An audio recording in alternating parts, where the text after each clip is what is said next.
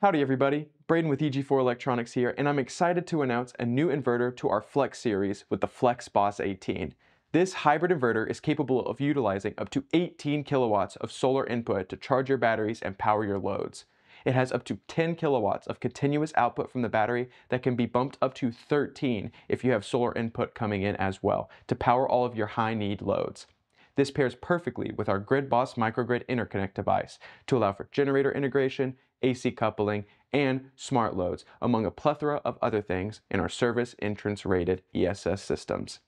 This also pairs great with any of our 280 amp hour wall mount batteries, be it the all weather for a perfect outdoor system or the indoor for an extremely economical system.